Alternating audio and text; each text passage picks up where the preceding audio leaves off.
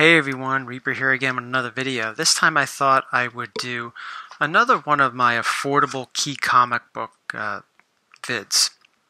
Uh, this is volume 3. Like I said, I haven't done one of these in a while, so I thought it'd be cool to show some of these things off. Now, these books, these I tried to keep them under a certain price. I mean, granted, if you have high grade, some of the ones I'm going to show you, if you have really high grade books like 9.6, 9.8, 9.4, of course they become more expensive. But just this is for the more moderate collector, the collectors that are not specifically after 9.6, 9.8, 9.4, every single thing. Now, some of these, if they're 9.4, 9.6, they're still affordable. But some of the older ones I'm going to show that are probably like Silver Age, uh, most likely not so affordable. All right, so let's get started with this one right here. A-Next number seven. This is an affordable key. It's, it shouldn't cost you that much. Uh, one of the you know the significance of this issue is that it's the first appearance of Hope Van Dyne. Now, if getting Janet Van Dyne, the original Wasp, if getting her first appearance is too expensive, and it is, it's very expensive in low grade, mid grade, high grade. If that's too much for your budget, well, having this one, her daughter, the other Wasp, uh, added to your collection is a more affordable option. It's pretty cool to have. Since she is the focus of you know the character the Wasp in the new movies, just as Scott Lang is over the original Ant-Man. Supernatural thrillers featuring the living mummy. Number five. This is the first appearance of the living mummy. For those of you out there that you know, have a mild interest in some horror-ish type titles, but you don't want to go down the EC or the pre-code, the other pre-code horror uh, rabbit hole, this would probably be, a, you know, a, a fairly affordable book to get. Um, I think it's really cool. I, you know, I'm a big uh, horror fan. I like the EC horror books, and I admire the other pre-code horror books from afar because, you know, I don't want to like I said a few moments ago, I don't want to go into that rabbit hole because it's it's too much. But yeah, it's true. Those books are very expensive. But if you're sticking with Marvel horror, having the first appearance of the Living Mummy, eh, not so bad, not so bad. Pretty cool and affordable. Here's another one that's affordable. Shazam number one. Now, you know, this is uh, when Shazam, or Captain Marvel, went to DC. He's been in D, he was owned by DC for a little while before they actually started putting this out, giving him his own uh, series. But here it is with number one, you know, the reintroduction of Captain Marvel, the original Captain Marvel, Shazam, into the DC universe. It's a fairly affordable book. It's not going to break the bank. Now, if it was a 9.8, it would probably be several hundred dollars, you know. And that's what I was talking about earlier in the video, that yeah, if these are 9 eighths, this is not a 9 8, this is probably like an 8 5 or a 9.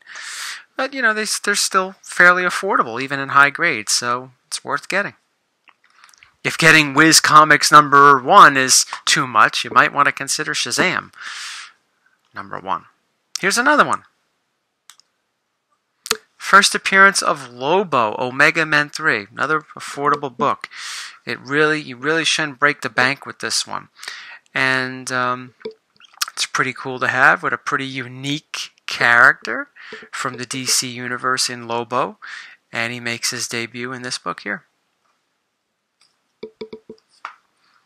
Here's another one that I think is a little underrated.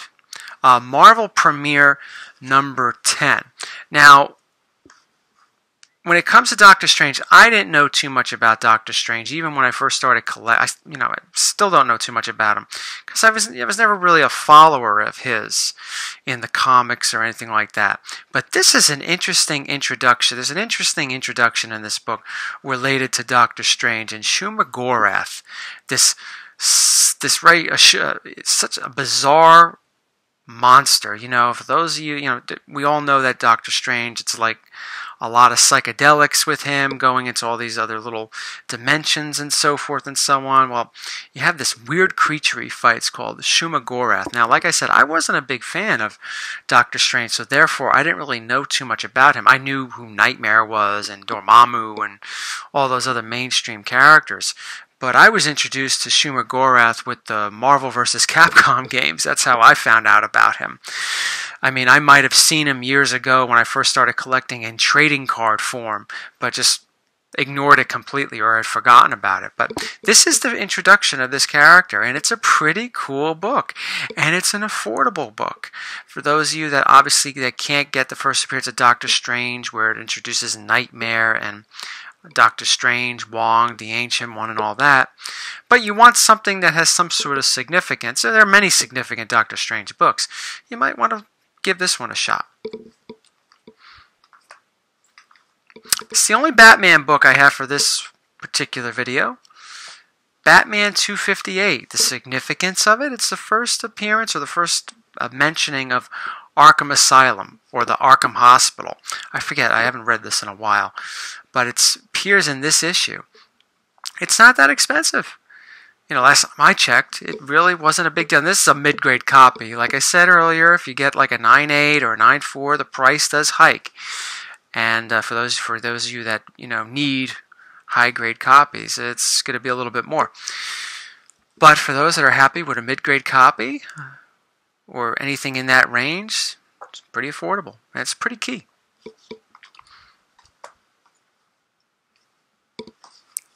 Moving on, I got a couple X-Men books before we get to some Spider-Man books. Here we are.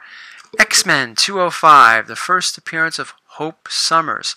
I love this cover, and you know, uh, I'm a big fan of Mr. Sinister. I would love to see him implemented into a new X-Men movie somewhere down the line in a good way, and not in a corny way, but in a good way. I think he is such a great character, uh, you know, with all his uh, manipulations and doings behind the scenes, he could really be a long standing threat in a new X Men movie series. Well, here we have the introduction of Hope Summers. Really cool book and definitely affordable. Last X Men book for this video X Men number 60. First appearance of Sauron. Here we got a little Silver Age going now.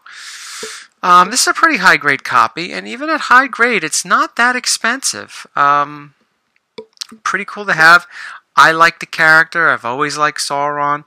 I mean, some people might find he's kind of corny or whatever, but I've always found him pretty interesting. I think there's a lot that could be done with the character and he makes his debut in in the reptilian form. He showed up as himself, Karl uh, Karl Lykos, in issue 59, which is another affordable book. But you know, a lot of X Men books. Uh, once you get away from X Men number 20, or you know, around that time, yeah, sure, there's a few along the way, but once you, when it comes to the Silver Age, uh, before you hit 94. But after like the first 20 issues, the books become very affordable in nice condition too. You don't have to get a a beater copy for it to be affordable. And definitely this one I think qualifies as that. It's a pretty uh, good book. I like it. I've always liked it. And the introduction of Sauron. Don't a lot of people talk about this one that much, but The Amazing Spider-Man 344.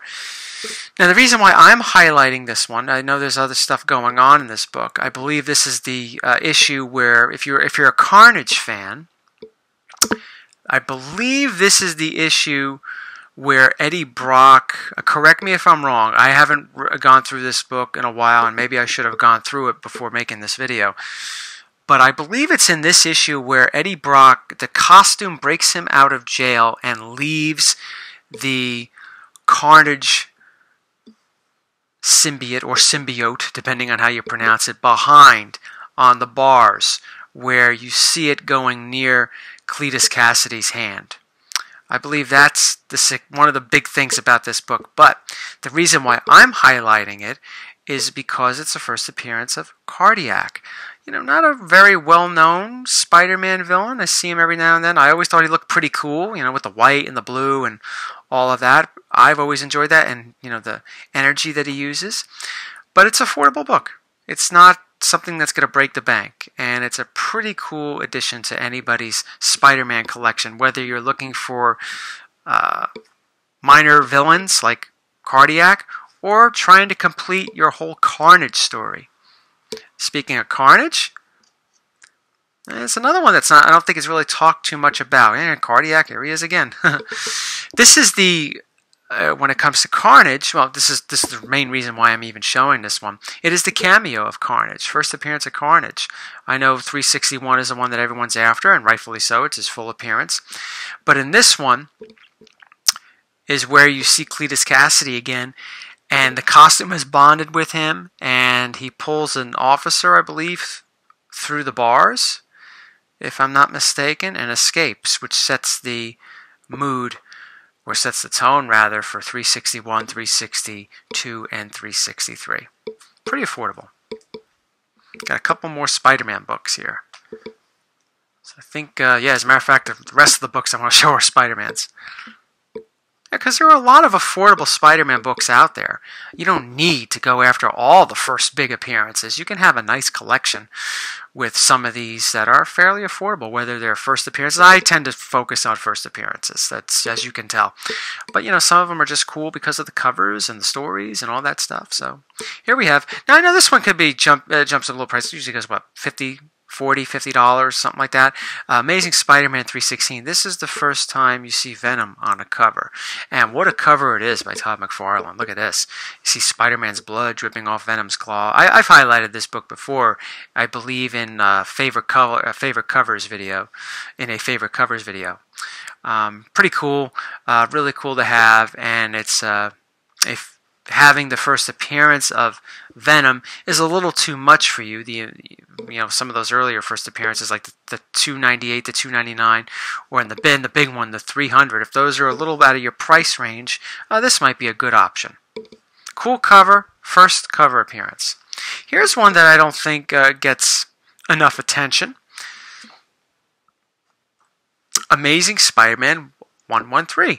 This is the first appearance of Hammerhead uh, the gangster, you know, from the 30s, uh, 40s, Dick Tracy like character in the Spider Man universe. He had a minor role in uh, Spider Man lore early on. I think he was eventually killed and so forth. I don't remember the storyline altogether, but this is his first appearance in 1, 1, uh, 113 not a book that I think gets enough uh, attention or love enough love, but here it is. It's affordable. I don't think it's going to cost you too too much. Maybe you know maybe 8.0, 9.0 might cost you about 30, 40 bucks.